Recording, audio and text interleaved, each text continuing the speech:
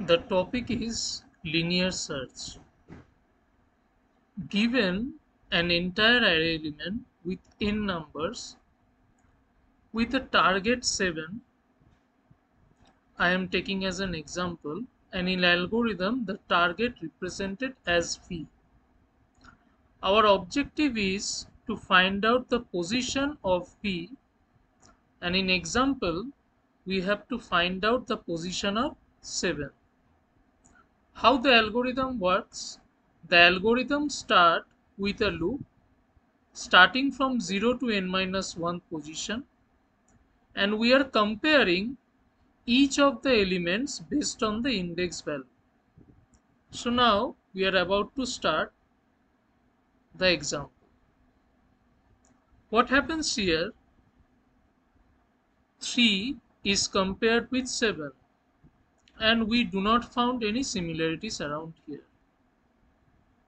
Next, loop continues and 8 will be the next element to be compared with 7 and again there is no similarities found between them. So again the index increase and we are focusing on 2. Again the comparison is not successful. So 2 cannot be the desired element and the i is incremented. 5 will be the next element to be compared with 7. Again the comparison is a failure. i increment. Next element we have to compare 6. 6 is also not our desired element. So next what happens?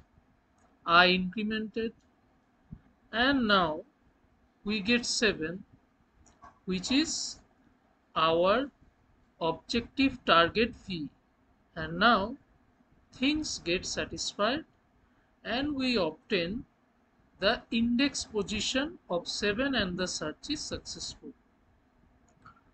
So here the algorithm also maintains these things in documented way where return i bring us the index position of 7 which is officially 0 1 2 3 4 5 and that is officially linear search.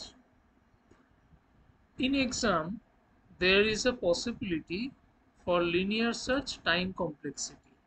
In that case worst case that means if we have to search element 1 around here then we have to traverse this entire set of n elements and the complexity to find v as 1 is big O of n. Best case means if at the very beginning we are searching from 3 or suppose for 8 then it will cost you a constant amount of time and in average case whether the element is in the middle section or after the midsection it will be same as the worst case. So for linear search the time complexity is sufficient. The coding is also provided in the classroom as it is a very uh, easy in C implementation. So I try to skip this one. You can follow this on your own